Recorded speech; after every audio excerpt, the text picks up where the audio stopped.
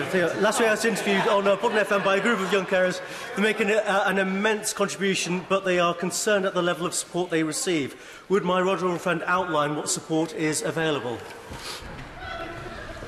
Mr Speaker, I'm sure it was a fantastic interview that we will all be yeah, yeah. looking to hear back on the archives online. And uh, as set out in the earlier questions, We are doing a huge amount to support care leavers, uh, and I'm very grateful for the support of charities such as the Children's Society and Bernardo's who are helping shape that. And only last week, I myself met with a group of care leavers from the Big House charity in London who were able to give me their personal uh, wish list of things that we can do, and we will continue to work with care leavers, charities, and support organisations so that they can have the maximum opportunities that many take for granted. Well, it's always, please, it's always pleasing to see a happy.